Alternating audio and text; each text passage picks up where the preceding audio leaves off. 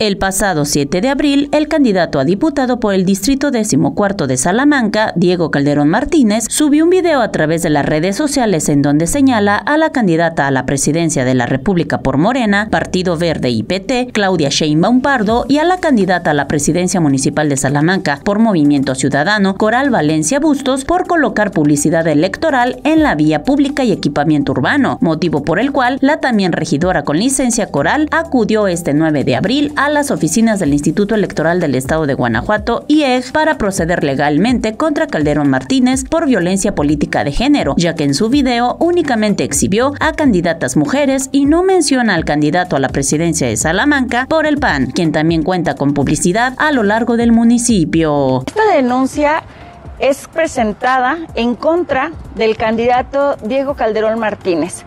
Él es candidato por el Distrito 14 local de la coalición PRI-PAM-PRD de nuestro municipio.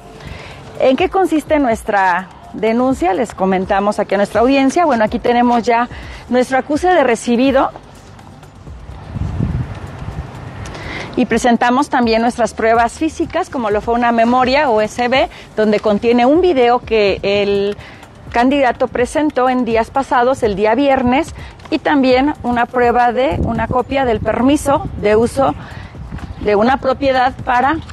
eh, hacer uso de una publicidad que está ahí plasmada y que no es un espacio público como él lo menciona en el video. El candidato por la coalición PAN-PRI-PRD acusa en su video al municipio por permitir que las candidatas utilicen espacios públicos, tachando tal proceder de ilegal. Sin embargo, Valencia Busto subrayó contar con permiso del local que aparece en el video en cuestión y refiriendo que se trata de propiedad privada, argumentando con ello que Calderón Martínez está actuando de forma misógina y sin fundamentos. Yo no la imagen que él menciona, yo no tengo publicidad en un espacio público. Es una propiedad privada del cual tenemos nosotros el permiso. Aquí lo grave es que él se atreva a señalar y además a puras mujeres candidatas y no a su candidato, que es hombre, que también tiene publicidad incluso en campos deportivos, en espacios públicos, porque yo las he visto y tenemos evidencias también de ello, y él solo solamente nos violenta a las mujeres. Yo no voy a permitir que se nos siga ejerciendo violencia política de género a Coral Valencia, es mi tercera vez que soy candidata a la presidencia municipal, así que conozco perfectamente la ley y mis derechos y así también conozco mis obligaciones. La candidata por el Partido Naranja recalcó haber presentado las pruebas necesarias y enfatizó que espera la prohibición al candidato del PAN para hacer uso de su imagen y nombre en lo futuro. ¿Qué es lo que estamos solicitando? En caso de ser procedente, ya que se va a analizar por parte del Instituto del Consejo Municipal y de la Unidad Técnico Jurídica jurídica la prohibición a Diego Calderón Martínez, candidato al Distrito 14 local por el municipio de Salamanca, coalición PRI-PAN-PRD, para hacer uso de mi imagen y mi nombre en videos, declaraciones por medios físicos o electrónicos en los que se refiera a mi persona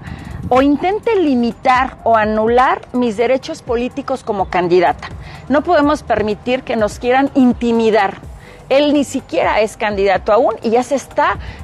eh, prestando a violentarnos, mandado no sé por quién,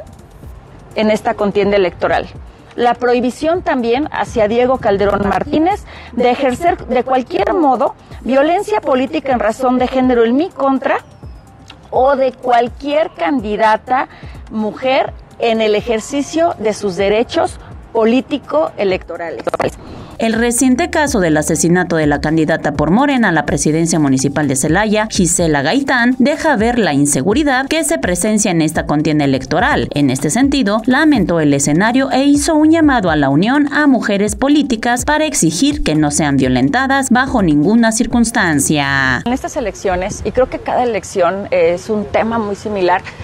eh, muchas mujeres pierden hasta la vida queriendo buscar lo mejor para sus municipios, para la nación, para sus estados, para sus distritos. Es muy lamentable lo que sucede, porque hoy hacer política, ser candidato, tal parece que es un martirio y que es un castigo, cuando lo que queremos realmente es el bien colectivo, el bien de nuestro Salamanca, en este caso Coral Valencia, es lo que busca un cambio, un cambio para mejorar las condiciones de vida de muchos ciudadanos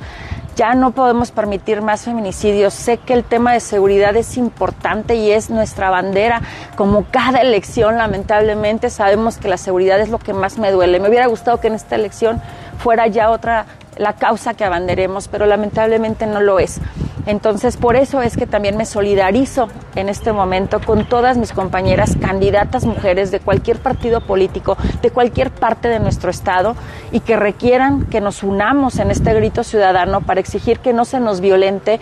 por ser candidatas y por el simple hecho de ser mujer. Agradeciendo atención y difusión para el salmantino y la neta del Bajío, Jazz Arciga Martínez.